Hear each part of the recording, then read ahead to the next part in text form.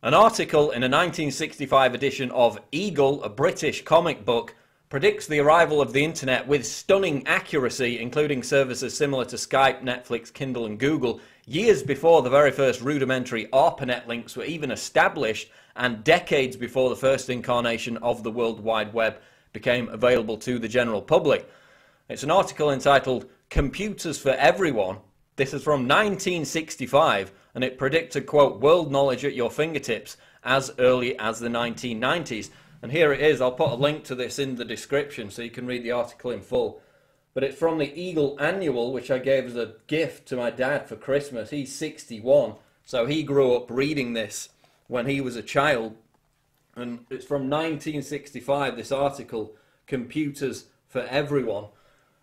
And it states, quote, How would you like to be able to solve any mathematical problem in a fraction of a second, summon any page of any book or newspaper instantly before your eyes, have all the factual information known to man at your own fingertips, all without leaving your living room. This fantastic dream of scientific achievement may come true by the 1990s if a plan now being worked on by top scientists in this country and the USA is successful. So bear in mind that ARPANET, which was the first rudimentary internet communication system, which of course arose out of the US military, was not even conceived until the early 1960s. And the first ARPANET link, the first official link between the University of California and the Stanford Research Institute, was not established until October 1969. So those are the very first rudimentary communication links between two locations. This article, four years before, is not only predicting that, but it's predicting a whole host more.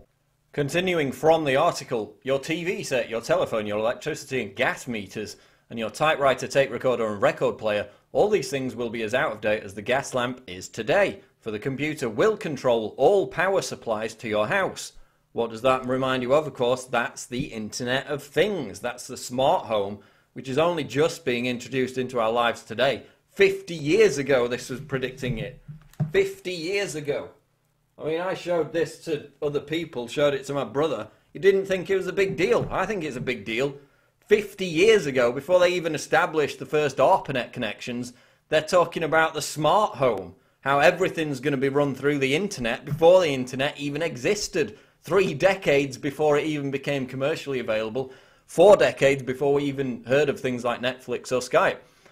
It also goes on to predict the um, installation of a complex nationwide network of connections between the computers and the fiber optic network, which could, quote, carry thousands of times more information than a cable at close to the speed of light.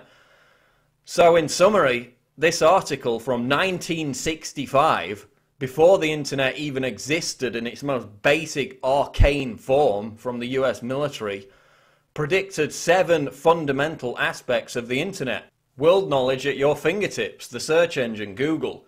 Summon any page of any book or newspaper instantly before your eyes. Of course, we would know that today it's Kindle. The computer will control all power supplies to your house, that's the smart home, the Internet of Things. Video phone, that's Skype as we would know it today. Multi channel TV signal, of course, many people get their television through the internet nowadays, and we would know that as Netflix. Computers, the internet to replace tape recorder and record player we would know that as Spotify and iTunes, and a network to operate at the speed of light, which of course the fiber optic network actually operates faster than speed of light.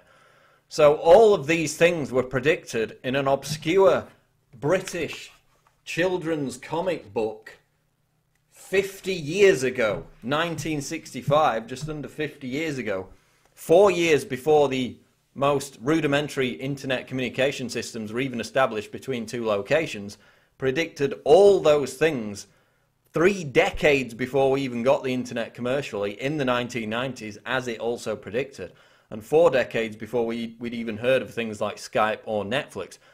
I just thought that was weird and that was interesting, caught my eye, so I thought I'd share it with you today. Go in the description, you can read the actual full article uh, from a screenshot that I've included.